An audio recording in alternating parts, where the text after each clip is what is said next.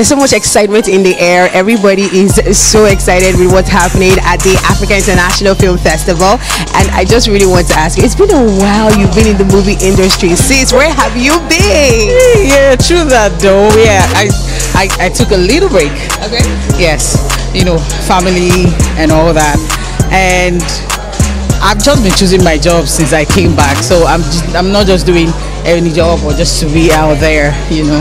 So yeah, I'm still on TV. There are a few of my my movies that is on um, African Magic Showcase, the one that is coming out on um, Amazon, and you know. So I've also been doing the little work, all the work, background.